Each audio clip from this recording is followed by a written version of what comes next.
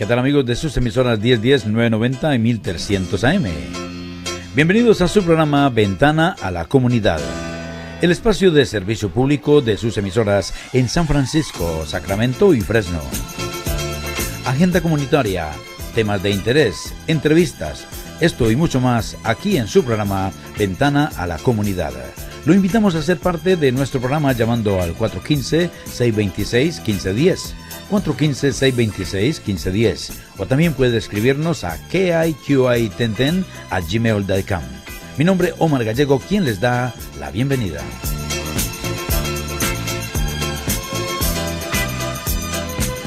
¿Qué tal amigos de la 10 1990? Bienvenidos a su programa Ventana a la Comunidad. Como siempre cada semana, trayendo temas de interés para todos ustedes. Hoy hemos invitado a Michelle White, quien tiene una entrevista con la agrupación Pro Búsqueda. Y finalmente vendrá Julio Escobar con su acostumbrado programa de cada dos semanas. Bienvenidos a Ventana a la Comunidad.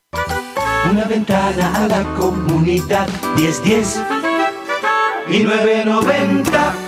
Vamos a comenzar rápidamente con un tema muy, muy interesante. Vamos a conversar con Cristian Orrego. Él es el encargado del Centro de Derechos ah, Humanos de la Universidad de Berkeley del proyecto de apoyo de ProBúsqueda.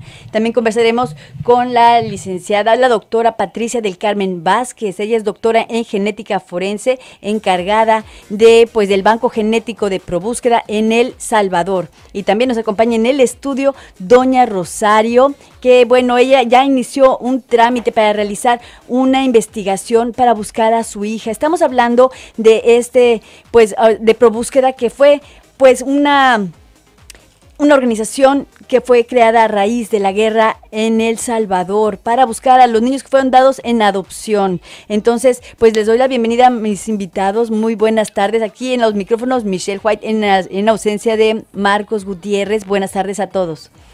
Pues buenas tardes. Muy buenas tardes. Pues, Cristian, vamos a comenzar contigo, por favor. Ah, háblanos un poquito acerca de qué fue lo que sucedió durante la guerra civil en El Salvador entre 1980 y 1992. Gracias Michelle por recibirnos y compartir estos momentos con sus uh, radioescuchas. 1980-1992, El Salvador se sume en una cruenta guerra civil donde miles de personas murieron, miles de personas desaparecieron, pero también un aspecto que no ha recibido eh, igual atención es la desaparición de niños por raptos que fueron separados de sus familias y dados muchos de ellos en adopciones irregulares, dentro del país como también en el exterior, Estados Unidos y Europa. ¿Y esto eh, en qué años fue que sucedió? Entre 1980 y 1992, con un año peak eh, alrededor de 1985. ¿Y cuándo es cuando es que se funda ProBúsqueda? ProBúsqueda se funda después de la firma de los acuerdos de paz en 1992, ocurren los, el, el fin de la guerra, y en 1994 se establece ProBúsqueda en una asociación extraordinaria de las familias que buscaban a sus uh, hijos e hijas con un sacerdote jesuita, el padre John de Cortina, quien falleció el año 2005. John de Cortina. Y entonces, eh, háblanos de qué, han encontrado a través, dónde encontraron a estos niños que fueron dados en adopción inicialmente. ProBúsqueda, que existe hasta hoy en día, con oficinas en San Salvador ha sido extraordinariamente exitosa en encontrar una fracción importante de los más de mil niños, 930 para ser exactos en este momento, em, a través de los años. Alrededor de 400 ya de estas desapariciones han sido resueltas y resultado en muchos casos, en la gran mayoría, en la reunificación de aquellas personas, ahora adultas, jóvenes adultos, eh, con sus familias la búsqueda continúa. Claro, y bueno, tú estás encargado del Centro de Derechos Humanos de la Universidad de Berkeley, del proyecto de apoyo de ProBúsqueda. ¿Cuál, ¿Cómo fue fundado este? Me imagino que son como organizaciones hermanas. ¿Cuándo es que se funda y qué haces tú en esta organización? Ese es un buen término, organizaciones eh, hermanas. El Centro de Derechos Humanos de la Universidad de California en Berkeley ha existido desde hace ya 20 años. A un grupo en el cual yo estuve, estaba incluido de genetistas forenses en el estado de California, el 2003, auspiciado por el Centro de Derechos Humanos de la Universidad de California, tuvimos la oportunidad de conocer al padre John de Cortina aquí en eh, California. Y es allí entonces, entonces donde nace la idea de que ProBúsqueda debiera añadir a su capacidad de búsqueda y de colección de evidencia en aquella búsqueda, de la evidencia de ADN, de la evidencia genética. Y es así entonces que desde ese año hemos trabajado con ProBúsqueda en ese sentido, desde California. Y tenemos la buena fortuna de tener aquí de visita en California a la genetista encargada en eh, ProBúsqueda del programa de ProBúsqueda en ese, en ese aspecto. Claro, bueno, ¿por qué no, nos presentas a nuestras invitadas y nos dices, eh, pues, que están, cuál es la misión eh, en esta tarde aquí en, en Hecho, California? Se agradece el honor, Michelle.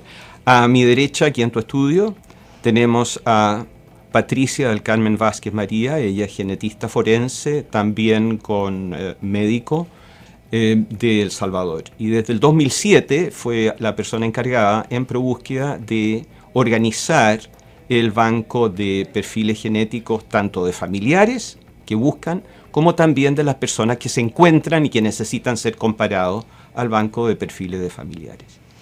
A mi izquierda está doña Rosario del Salvador, ella vive aquí en el área de la bahía, como yo también, quien ha sido la primera persona que se acercó a esta campaña que hemos iniciado en Estados Unidos y en especial en el área de la Bahía, para buscar familias que emigraron durante la guerra y que pudieran haber perdido niños o separado de sus niños durante la guerra y que no conocen de ProBúsqueda. Y debo adelantar que gracias a esta radio y a este programa tuyo que doña Rosario se ha podido acercar a ProBúsqueda y al Centro de Derechos Humanos. Sí, hemos estado haciendo eh, pues entrevistas, ya sea en el espacio de Hecho en California y también en Informaciones Poder. Muy buenas tardes también, señora Rosario. ¿Cómo estás? Bien, gracias. Gracias por estar por aquí, eh, por aquí gracias por invitarme a esta, esta radio para hablar de, eso, de ProBúsqueda. Claro ah, que según me dijo don Cristian que yo fui la primera en de que yo les hablé a ellos y con esperanza de encontrar a mi hija, ¿verdad? Sí. ¿Nos quieres hablar tú, Cristian, acerca de cuál era la situación eh, bajo la cual se fueron, fueron separadas estas familias o quién nos va a platicar de esto? Ah, con gusto, algo me refería al inicio. Durante la guerra, muchas personas fueron separadas de su familia, muchos fueron separados por, al ser capturados, luego asesinados y sus restos escondidos. No se saben dónde están. Pero afortunadamente algunos se salvaron y fueron los niños, quien muchas de las ah, masacres o de las operaciones militares eran separados de sus familias, niños de menos de 12 años, algunos bebés, eh, eh, y, y luego dados en adopción a través de una serie de mecanismos aún no muy bien conocidos, tanto a personas en El Salvador como también muchas de ellas en el extranjero. Y estas eh, ¿Qué organismos fueron quienes se llevaron estos niños y los dieron en adopción? ¿Cómo es que hubo, hubo algún tipo de récord o, cómo hicieron para tener los récords de estos niños? De lo que se, bueno, eh, la, evidencia documental que, a la cual se puede acceder en El Salvador es muy variada. Desde luego, los... Eh, los, la documentación de adopción que se puede obtener, algunas veces no necesariamente confiable, pero es una pista interesante que puede ser muy útil. También los certificados de nacimiento, también los testigos que algunas veces entregan información a ProBúsqueda que ayuda a encontrar a una persona. Eh, los nombres pueden ser, eh, los nombres algunas veces se mantienen en las personas adoptadas, eso puede ser otro, otra pista. Es muy variada y es muy ingeniosa a través de los años los métodos que ProBúsqueda ha eh, elaborado en esta búsqueda y en este encuentro de personas. Entonces hacen toda una recopilación de toda la información que haya eh, disponible, ¿no? Pero a fin de cuentas creo que lo que más contundente es el trabajo que hacen de genética forense, ¿no? Es uno más. Es quizás la evidencia más contundente en el sentido de que confirma eh, una afiliación entre una persona encontrada y su familia y muchas y en varias oportunidades es la única evidencia que existe para poder llegar a esa conclusión. Eh, discúlpame, es que estaba en una llamada. Y entonces, pues quisiera que la doctora Patricia, ella, Patricia del Carmen Vázquez, la, eh, pues eh, tú eres em, doctora en genética forense o cómo funciona? Sí. Bueno, yo soy médico Estudié medicina en El Salvador y luego hice un doctorado en genética forense en España. Y a mi vuelta a mi vuelta a El Salvador es cuando empiezo a trabajar, como mencionaba Cristian, con ProBúsqueda. Cuando ellos ya están, ya han obtenido a través de esta colaboración con instituciones de aquí de Estados Unidos la primera versión del banco de perfiles genéticos. Entonces, la manera como yo encajo ahí es cuando ya ProBúsqueda cuenta con esa versión del banco y empiezo a administrarla. Además, a medida que el tiempo ha ido pasando, pues esta versión del banco ha ido incrementando su número de perfiles genéticos y eso es lo, importante hasta ahora. Del 2007, como decía Cristian, que empecé a trabajar con ProBúsqueda, hasta la fecha ya tenemos un mayor número de perfiles tanto de familiares como también de jóvenes, porque esta es otra situación, jóvenes que buscan a sus familias. Entonces el banco se ha enriquecido bastante en los últimos años con los perfiles de estas personas aquí, muchos residentes allí en Estados Unidos que al conocer de ProBúsqueda envían su muestra, se obtiene su perfil genético y se incorpora al banco para comparación hablas de una muestra, ¿cómo funciona mm. esto para, porque lo pueden mm. enviar por correo, ¿cómo, cómo es que hacen esta? esa es la este colaboración, el trabajo en conjunto con el Centro de Derechos Humanos, el envío de un kit, un kit para la toma de la muestra, es un sobre que contiene algunos formularios que complementar y una paletita, un colector bucal, que es una paletita de plástico con un pedacito de papel que debe frotarse en la parte interior, bueno, adentro de la boca, por dentro, ¿verdad? por dentro de la mejilla, y rozar unas cuantas veces a ambos lados para obtener ahí las células, el tejido de donde se va a obtener el perfil genético. Es, es muy sencillo. Solo es cuando el joven se comunica con ProBúsqueda, nos envía su dirección, el Centro de Derechos Humanos envía el kit y el joven, bueno, lleva ahí todas las instrucciones a seguir y envía por correo ya con un sobrecito etiquetado a dónde, con Cristian Orrego, eh, esa muestra y se envían a los laboratorios para obtener el perfil genético. ¿Y esos estudios se hacen en El Salvador o en Berkeley, en la Universidad de Berkeley? No, se hacen en laboratorios certificados para este tipo de análisis. En Estados Unidos también hemos hecho análisis en Europa, en, en Bosnia y en el laboratorio del ICMP y también en la, el laboratorio de, de Guatemala, de la Fundación de Antropología Forense de Guatemala. Hay varios laboratorios, todos ellos acreditados para hacer ese tipo de análisis. Wow, qué interesante. Y bueno, así dinos así en términos entendibles para todos nosotros los terrestres. eh, ¿Cómo es que funciona este estudio? ¿Qué es lo que buscan? ¿Cómo es que lo hacen el empate de estos dos muestras de DNA? Sí. Bueno, nosotros sabemos que tenemos esa información, ese material genético que hemos heredado de nuestros padres. Mitad de la información de nuestra madre y la otra mitad de nuestro padre. Cuando tenemos el caso de un joven que está buscando a su familia, nosotros lo comparamos con el banco y nos encontramos allí, por ejemplo, podría ser a sus padres. Si tenemos mucha suerte, podemos encontrar a sus padres y se va a asociar ese, ese material genético del joven, va a encontrar sus otras complementariedades, por así decirlo, en los padres que están contenidos en el banco. Puede ser que solo tengamos a la madre y resulte una asociación genética entre este ADN del joven y el ADN de la madre. Entonces hay un match, una coincidencia, ya sea con la madre o con ambos padres, o como sucede también muchas veces que los padres fueron asesinados, como mencionaba Cristian en estas intervenciones en la guerra, eh, tenemos hermanos, tíos, abuelos y resulta alguna asociación de este ADN del joven con el contenido dentro del banco. Y, varía, digamos, la, el grado de asociación, ¿no? El grado de asociación. Sí, el porcentaje de asociación va a ser mucho mayor con, con los padres o con la madre, con los hermanos, y va a ir disminuyendo a medida que en el árbol genealógico se va eh, distanciando la, la, familia, por ejemplo, con los abuelos o con los tíos, es menor el porcentaje, pero no solo se cuenta con el, esta base científica, sino también se tiene que evaluar el contexto de la desaparición de este niño. Así es que tomamos el ADN, siempre comparándolo con la familia que se disponga, más la evidencia no genética que tengamos, qué edad tenía el niño de esta familia cuando desapareció, qué edad tenía este joven cuando fue dado en adopción, características, bueno, si es hombre o es mujer, y muchos detalles que se toman en cuenta, el lugar, toda la información posible para todo eso en conjunto, eh, integrarlo, si encaja todas las piececitas ahí y se puede entonces elaborar un informe de filiación. Y encontramos a, asociado este joven a su familia verdaderamente.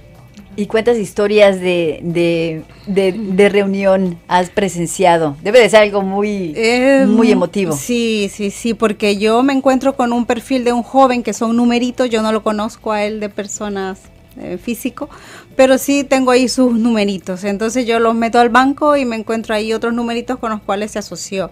Y entonces en mi cabeza están como, bien, ¿verdad? Se asociaron, qué bueno hay una emoción muy fuerte porque es muy así de nervios para mí. Hasta el momento que yo voy al investigador y le digo, ¿es posible que este joven esté asociado con esa familia? Y empieza la otra parte de la investigación no genética y llegamos, vemos los detalles y decimos sí. Entonces se prepara el reencuentro y es muy, muy emocionante. Y además yo ya le pongo cara a esos números del ADN y, y además se es muy grato ver que los parecidos físicos también son muy importantes. Entonces es muy emocionante. Ya tenemos varios. El último fue en diciembre del año pasado, un, reencuentro por un, un match que hubo así muy fuerte en el banco. Y ya sea en El Salvador o acá en los Estados Unidos. Sí, ahí depende de dónde sea. el reciente fue en El Salvador. La joven vivía en un departamento distante de donde había desaparecido o de donde se, se la había llevado la persona, el militar que la llevó pero mm, no sabía de, la historia de su familia y se reencontró con su madre y fue muy, muy bonito. Igual sucede con jóvenes, jóvenes aquí en Estados Unidos que envíen su, su muestra, obtenemos su perfil y nos podemos encontrar ahí a su familia, ya ha sucedido, su familia en El Salvador. El año pasado hicimos en Informaciones Poder una entrevista y, y sí entrevistamos a la chica que fue, eh, que encontró su familia en El Salvador. Esta chica, creo que es en Berkeley, que vive, y ella ni siquiera hablaba español, pero sus padres siempre tuvieron el interés de que ella supiera sus raíces, ¿no? Entonces le ayudaron, de hecho, a conectarse con su familia biológica. ¿Nos puedes recordar un poquito ese caso? Sí, es importante el apoyo de los padres adoptivos porque muchos de ellos la historia que tenían cuando adoptaron a ese niño es muy diferente a la real.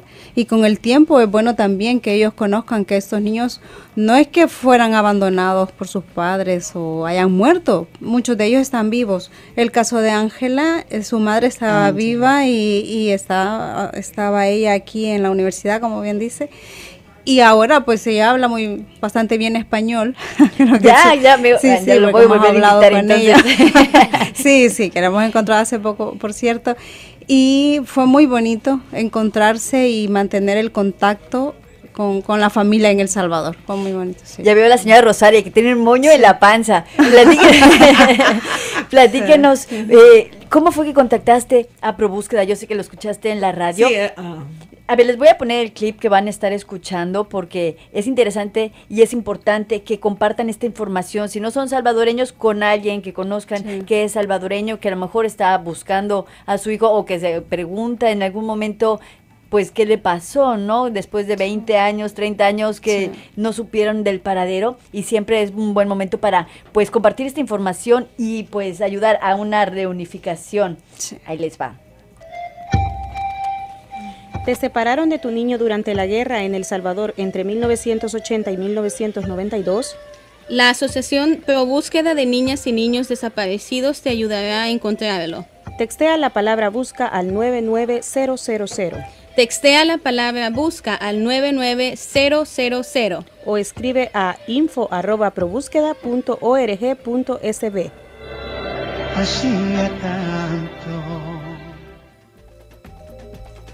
¿Qué tal? Pues muy, muy lindo, ¿eh? La verdad, a ver, platícanos, Rosario, ¿cómo fue que, que contactaste a ProBúsqueda? Pues ese día yo estaba oyendo la 1010, esta emisora, y pues a las 12 siempre me gusta ponerlo, ¿verdad?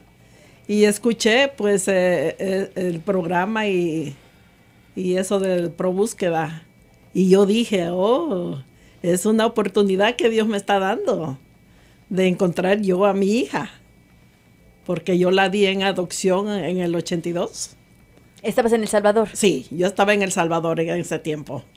Y luego pues la di en adopción y yo sé que después de Dios será este, esta asociación de pro búsqueda que me va a ayudar a encontrar a mi hija. Ella ya tiene como unos 33 años. A lo mejor hasta nietos ya tienes. ¡Ay, hasta nietos! ¡Qué emoción! Sí. Y entonces, ¿cómo te fueron guiando en este proceso? Platícanos un poquito acerca de eso. Sí, ah, pues ah, don Cristian me ha estado llamando, me llamó Monse, Monse de allá del Salvador, de la Asociación del Salvador de allá, y me llamó para ah, ver si encontraba algunos detalles, una información sobre esto. Pues gracias a Dios, pues tuve algo en mis manos desde el día que nació mi hija. Entonces ese, eh, ese documento me ha ayudado mucho, ¿verdad? Eh, son los plantanes cuando yo tuve a mi hija en el Seguro Social del Salvador. Así es que ahí está de que es por eso que yo les invito pues a, que el que oiga este, esta grabación, que si tiene un caso así, pues que se acerquen. ¿Verdad? Este lugar de pro búsqueda de don Cristian, que gracias a Dios él le está ayudando a uno y todos los que están allí. Eh, sí. ¿Y hace cuánto empezaron la búsqueda? ¿Ya tienen algunos meses o cuándo empezaron? Quizás. Ah. Oficialmente. Bueno, empezamos oficialmente en la eh, empezamos oficialmente en la primera entrevista que tuvimos aquí en, en tu programa. Ok. Claro que. Sí. Con Marcos. Fue antes de la de Información es Poder, claro. Así es. Y, en fin, esta continúa y le hemos agregado otros, otros instrumentos de búsqueda, pero el principal es solicitarle, como lo indicaba la cuña, hace un la cuña radial hace un momento, es enviar un texto al número